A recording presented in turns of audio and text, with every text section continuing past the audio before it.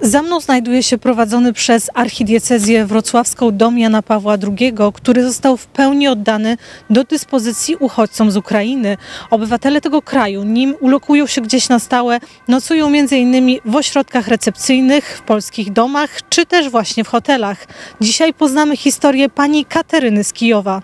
Everything began on the 24th. Wszystko zaczęło się 24 lutego. Mieszkałam z moją koleżanką, wynajmowałyśmy mieszkanie.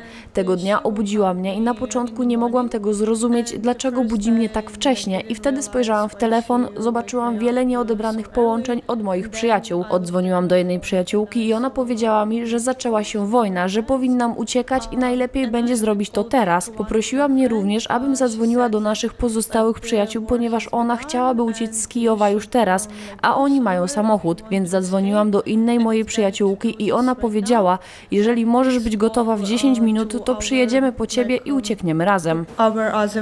Historia podróży do Polski była dla Kateryny, tak jak dla większości uciekających przed wojną Ukraińców, długa i męcząca. Z Kijowa pojechała najpierw do zachodniej Ukrainy, gdzie została dwa dni. Stamtąd przedostała się do Polski, konkretnie do Rzeszowa. Z Rzeszowa pojechała pociągiem do Krakowa, a z Krakowa przedostała się w końcu do Wrocławia. Wrocław wybrała jako miejsce docelowe, ponieważ była tutaj parę lat temu. W mieście mieszka również jej koleżanka. Jednak nie mogła przyjąć jej pod swój dach. Dlatego też Kateryna zarezerwowała sobie pokój w hotelu w centrum Wrocławia na 10 dni. Po dotarciu do stolicy Dolnego Śląska na dworcu dowiedziała się, że ma możliwość zatrzymania się w domu pani Małgorzaty i pana Markusa. W hotelu spędziła tylko jedną noc. Po zakwaterowaniu w domu pani Małgorzaty i pana Markusa małżeństwo starało się pomóc Ukraińce uzyskać zwrot pieniędzy za niewykorzystane noce. Poprosiliśmy telefonicznie e, o potraktowanie priorytetowe tej sprawy, no bo to nie jest zwykły turysta, tylko po prostu uchodźca.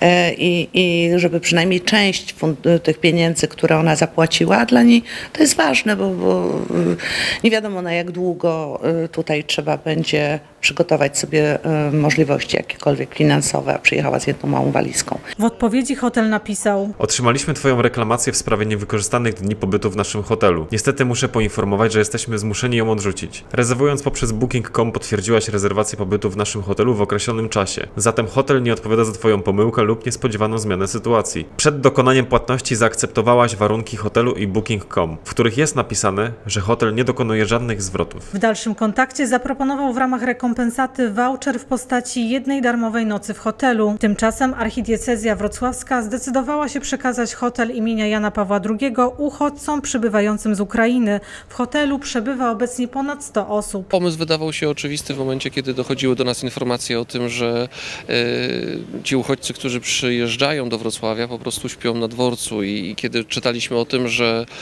e, no, ludzie przynoszą dywany, i żeby, że- żeby nie siedzieli i- nie spędzali e, chociażby nocy na podłodze, no to ksiądz arcybiskup podjął decyzję: mamy ten hotel, wyłączamy go z użytkowania, po to, żeby można było po prostu tych ludzi w miarę możliwości po prostu przyjąć w pokojach, dając im też schronienie, dając im posiłki, organizując dla nich także tą pomoc związaną chociażby z pomocą psychologa czy, czy, czy lekarzem. Przypadków uchodźców z Ukrainy, którzy prywatnie zatrzymują się we wrocławskich hotelach jest więcej. Przyjeżdżając do Polski nie wiedzą, co się z nimi stanie, dlatego ci, którzy mogą, wolą się zabezpieczyć. Zrozumiałym jest, że w ciemno akceptują też regulaminy, dokonując rezerwacji, a hotele tak bardzo dotknięte podczas pandemii mają prawo odmówić zwrotu pieniędzy za niewykorzystaną rezerwację. Jednak czy sytuacja, jaką jest wojna u naszych wschodnich sąsiadów, nie powinna skłaniać również prywatne biznesy do pójścia na jakiś kompromis? Agata Todorow, Echo 24.